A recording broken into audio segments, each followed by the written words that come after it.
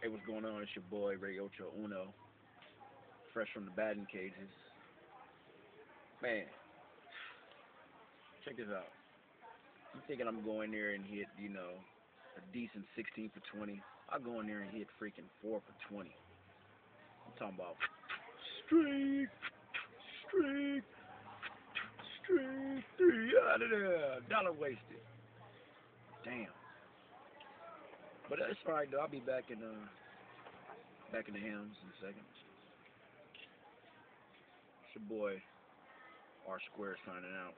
I'm at the wash house now, dejected, about getting ready to uh finish drying these clothes, and uh I'm out.